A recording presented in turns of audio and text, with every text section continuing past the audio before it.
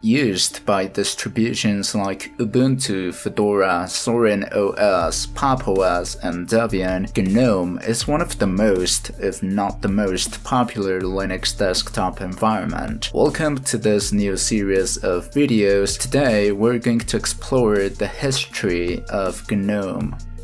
To support the channel, you can like, subscribe, donate, or leave a comment. I always heard them. Thank you.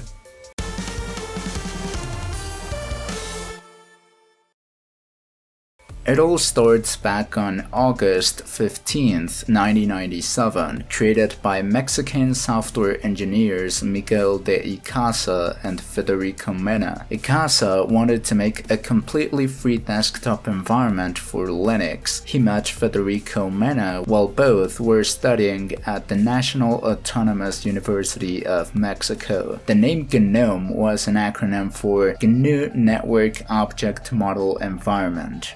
The project was made with a new toolkit back then called GTK that stood for the GIMP toolkit, later renamed to the GNOME toolkit. They decided to not use Qt because at that time its toolkit used a proprietary license, so it is not surprising to know that they chose to license their DE under the LGPL and their apps under the GPL. Analyzing the UI of GNOME GNOME 1, released on March 3, 1999, we can notice a lot of differences to the interface we know today. First, it looks a lot like Windows. If you removed the bar on the bottom and just showed me quickly the main window, I would think it was Windows. Speaking about that bar, it was called the GNOME panel. From left to right, we see an arrow to toggle the visibility of the panel. There is also another one on the right edge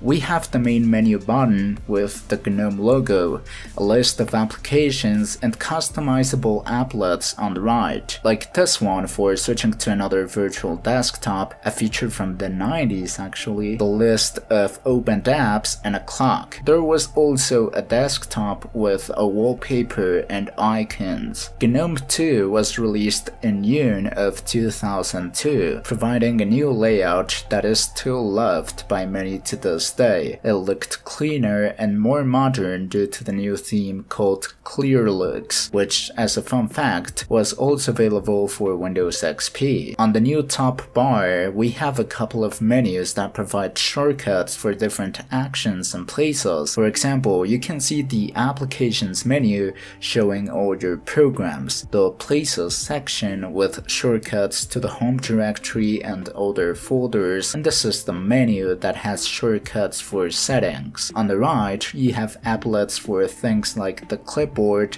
clock, and sound. On the bottom panel, you find a button for showing the desktop as well as a virtual desktop switcher. On this same panel, you should see your opened apps behaving like a taskbar. Things would get controversial with the release of GNOME 3. Originally, it was going to be a small update to GNOME 2, but the release of the brand new GNOME shell changed everything. Now, the focus was to make a simple user experience with a workflow very different to the traditional desktop one that OSs like Windows have, removing by default the minimize and maximize buttons. The panel was replaced by the dash, which contained your applications, but was only shown when you accessed the activities menu, same one where you would find your vertical virtual desktops, your opened window windows and applications and a search bar. The top bar remained with elements like status icons, a clock, and tray icons. By default, a new theme was made called Adwaita. Applications were redesigned to be more consistent, and the human interface guidelines were more solid. The window manager was replaced with Mutter. Linus Torvalds, the creator of Linux, criticized this new version of GNOME, stating that, quote, the developers have apparently decided that it's too complicated to actually do real work on your desktop and have decided to make it really annoying to do.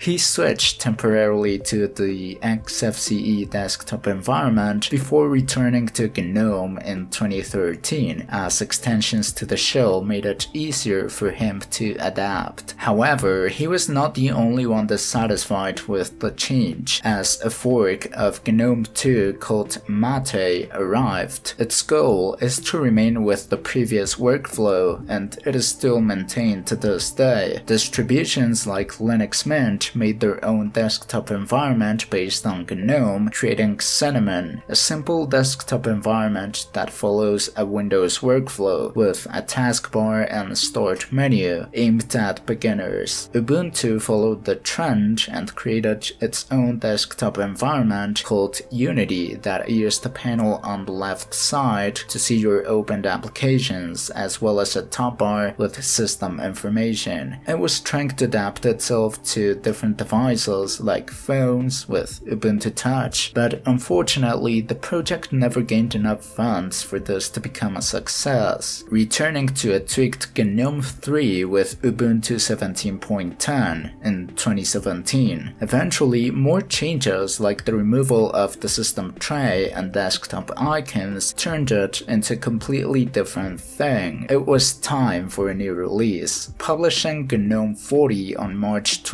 24th, 2021. As the name implies, now the versioning scheme is different, with major releases having an incremental number instead of being GNOME 3.x. The workflow was very much improved, merging an expose view, the dash, a global search, horizontal virtual desktops, and applications menu in just one interface, the overview. In my opinion, this is what GNOME 3 should have been since the beginning, and once you adapt yourself to the workflow, it is very clean and satisfying to use. It now includes more shortcuts and touchpad gestures to work with this new workflow. The Adwaita theme got cleaner and easier to use with libadwaita, an API that now only does not feature a theme, but also custom widgets that follow the guidelines of GNOME. This has the benefit of making dark and light theme work out of the box, and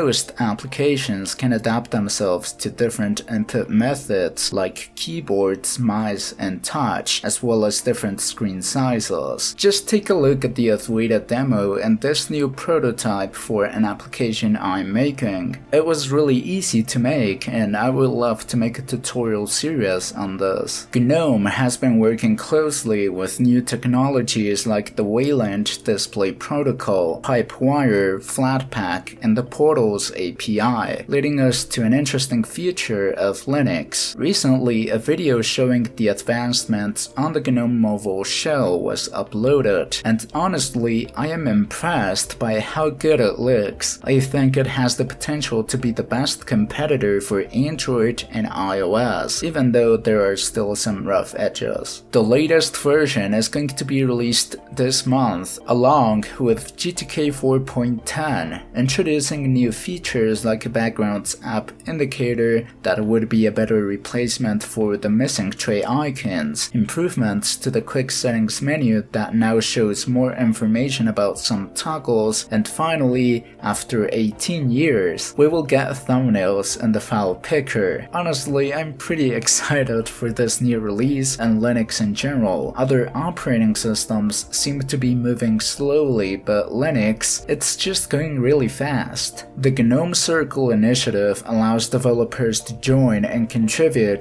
to the ecosystem, getting also support from the GNOME Foundation. It seems to have been a success as they recently reached 50 apps in this program. There is also GNOME Incubator that lets a third-party app become a first-party program that will be included in the official releases.